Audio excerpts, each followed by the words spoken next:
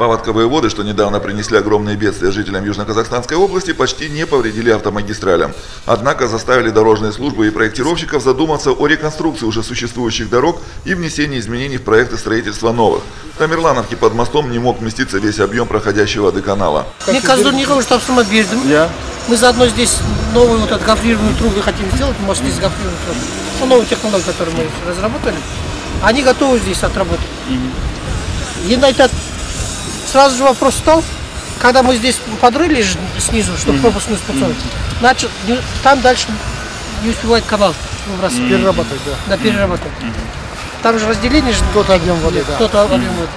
Надо кутировать, кутировать расход. Полтора раза увеличить.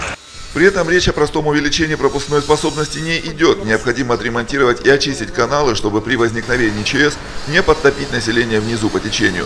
О предотвращении наводнений говорили и на встрече министра транспорта и коммуникации Акима области и представителей дорожно-строительных компаний. Как считают специалисты, необходима реконструкция четырех мостов, а также дополнительное устройство 16 водопропускных труб. Департаментом автомобильных дорог совместно со службой инженера рассмотрен вопрос о дополнительном устройстве 9 водопропускных труб в рамках проекта реконструкции Западной Европы, Западный Китай. По оставшимся четырем мостам, включая уширение моста в поселке Тимирлановка и семи трубам, необходимо дополнительное выделение порядка 390 миллионов тенге из средств республиканского бюджета. Почти полтысячи километров международного автобана Западная Европа, Западный Китай пройдут по территории области. На сегодняшний день работы ведутся на участках общей протяженностью 239 километров. В этом году будут введены в эксплуатацию 138 километров новой дороги.